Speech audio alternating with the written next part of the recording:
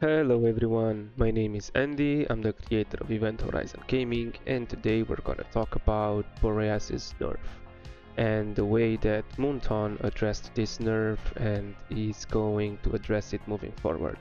So I'm not gonna talk specifically about the nerf itself because most of you probably have already seen it. Uh, basically they want to increase his anti-healing, which was not something that anyone wanted anyway, but I guess that's happening. And uh, reduce a big chunk of his overall damage, reduce his um, his area of effect and reach.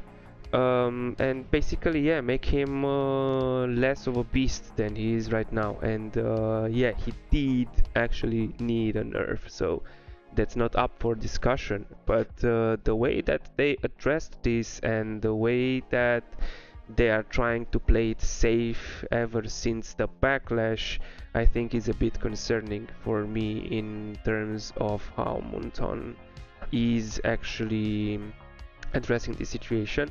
But there's also a ray of hope because this uh, ever recent concern that they told us that an ever recent uh, concern for our opinion is actually pretty interesting and hopeful because this is what you like to see. When somebody makes a mistake you want them to take accountability and want to do better moving forward. So basically half of it Moonton has already done. They've told us that this is not going to be uh, the final version of the nerf or the so-called um, the so-called rework and uh, even though they didn't quite take accountability as they should have they are willing to get in touch with content creators listen out and I don't know make a summary of opinions and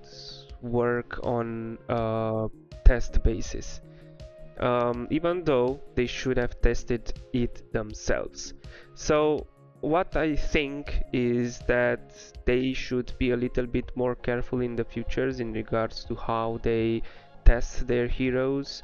I know that in a gacha games, in a, in gacha games in usual, um, you'd want characters to be appealing, to be powerful, to feel powerful, and this is exactly what Boreas felt like, but it was to such an extent that people that didn't have him actually felt very weak. So that's not what you want to do. You want people to want to have something to look forward to, to want to spend for something, but uh, you don't want people to actually feel at a, such a big disadvantage if they don't have that something.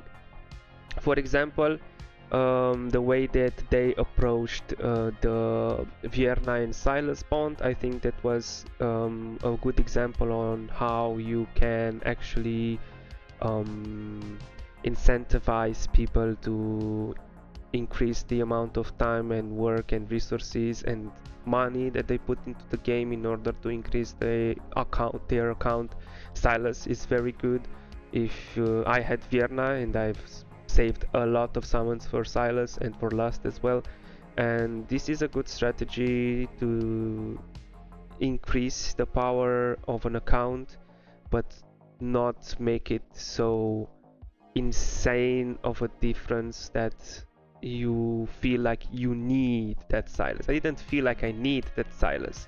I didn't feel like I couldn't do any piece of content without Sylas. I knew that Void Rift is going to be much easier, Nightmare Void Rift is going to be much easier. I knew that Guild Boss is going to improve if I get Sylas, which is uh, especially because I had the Vierna bond.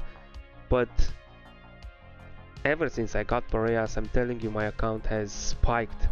Like uh, after I got Boreas, I cleared gear raid 1 and 221. I was killing it in arena and um, talking about the arena this is actually what I think they should be doing I think they should be um, they should have or they should be reducing his overall reach I mean getting his overall area of effect from 4.5 to 3.5 like they are willing to do it now and don't don't actually do anything else. I don't think anything else is required. I, I think that they can even delete his anti-healing altogether. I don't think the anti-healing is that much of a needed future for him. In, yes, it makes him very viable for um, for Gear 8 1, but that's not necessarily his uh, identity. His identity is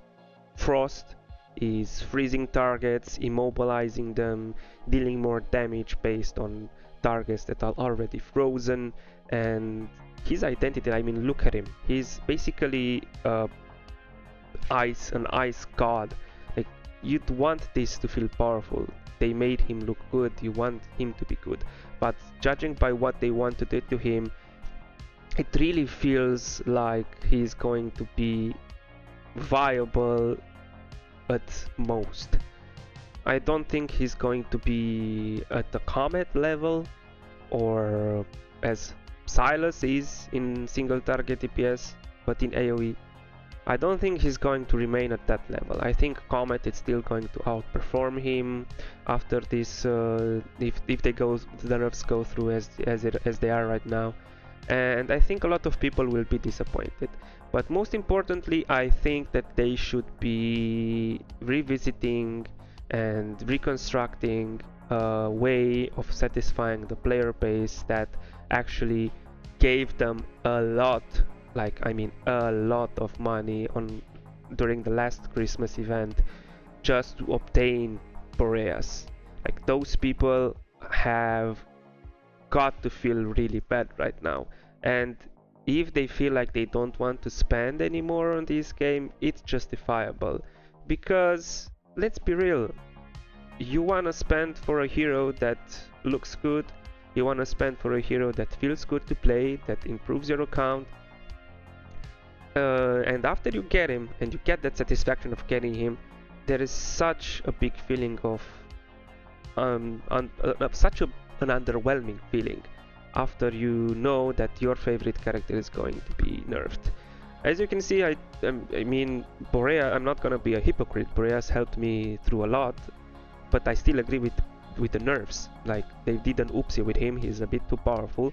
But I really think that in hindsight, they should be more careful as to how they test their heroes in the future, but also as to how they approach their player base. Because mm, the message in the Forerunner server concerning the, the Boreas' nerf sounds a little bit without any...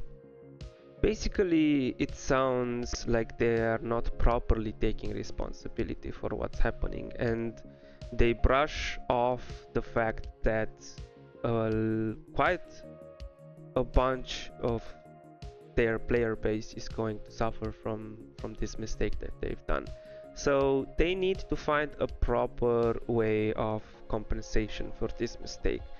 They cannot just pass by 300 diamonds and say hey oopsie look what we find out. We were surprised. I think they need to actually i don't know maybe um, provide something bigger like uh, give people the amount of uh, skill shards that they used for him, for example, or um, I don't know, make it possible for if you have, for example, multiple copies of him, make it uh, in a way that you can actually disassemble those copies for legendary, um, legendary awakening stones, right? I think uh, even though my, some people might find it uh, might find it as too big of a reward, I really think it it isn't because if you think about it, those people actually spent money to get Boreas, and uh, also those people are not going to have the same hero that they spent money on, right? so if you want to for example get rid of your copies because you don't you no longer want Boreas A3 or A2 or whatever you can get let's say for A2 two awake legendary awakening stones that you can use on another hero that is, isn't quite as mediocre as you might uh, uh, as Boreas might be after the nerfs um, and uh, yeah basically I don't think it's going to be too much of a reward to give the legendary skill crystals. I, as long as you get rid of the copies of Boreas um, I think it's going to make a lot of the player base actually quite um, less annoyed and less prone to complain and uh, not spend in the future. I think they are going to feel hurt. I think they are going to feel like uh, the um, knife isn't actually twisted in their wound uh, with uh, nice and political words in uh, Forerunner message. Um, still, I don't want to throw shit around. I really think Moonton does a great job in uh, comparison to a lot of other companies. I know that uh, all in all, Moonton is in is an organization. It's a company that wants to make a profit, and it's perfectly understandable. But uh, they should be wary of the people that are helping them reach the, those profit goals.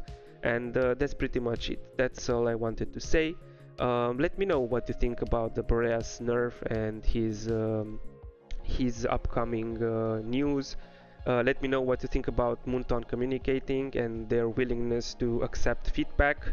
Uh, and I don't know, maybe give some prediction in the comments below. I'm responding to every single comment that I see. Don't forget to like, subscribe. Um, this has been Andy, Event Horizon Gaming. Bye bye.